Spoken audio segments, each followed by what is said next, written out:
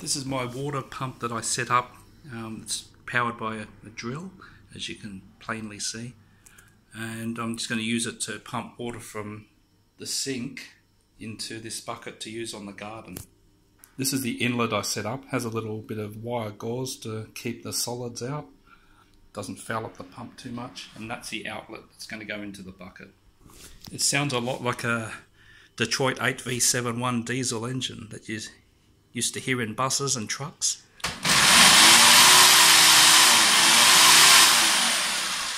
Okay, here goes. Inlet's in now. Let's go.